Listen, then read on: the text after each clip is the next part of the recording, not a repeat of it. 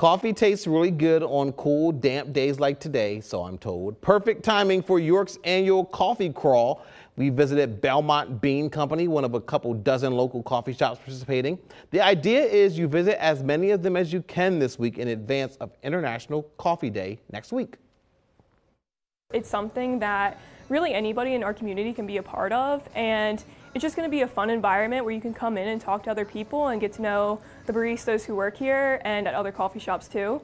So it's just a really cool way to just reach out to people in our community. If you'd like to see how many you can hit this week, we have a list of all the York Coffee Crawl spots at abc27.com.